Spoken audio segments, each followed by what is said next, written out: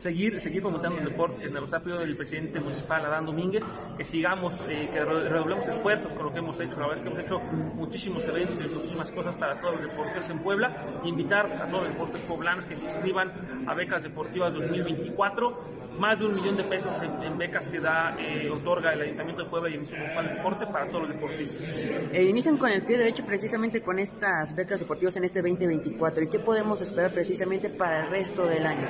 Se vienen bastantes cosas. Empezamos con becas deportivas, tenemos también una rodada con Infonavit a nivel federal, también tenemos la carrera de la juventud, carrera de la mujer, también vamos a tener un nacional de CrossFit y calistenia que es muy importante, en donde esperamos tener más de 500 participantes de toda la República y de Puebla. Entonces seguimos fomentando el deporte desde el eh, Club Municipal del Deporte.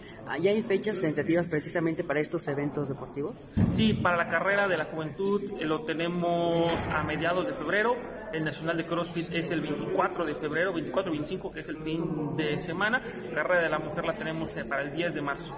De acuerdo, muy bien. ¿Y algún mensaje para todos los jóvenes que precisamente eh, están beneficiados con estas becas deportivas? Para todos los chicos, estas becas son para que sigan eh, entrenando, para que sigan cumpliendo sus sueños. A mí el deporte me cambió la vida y lo queremos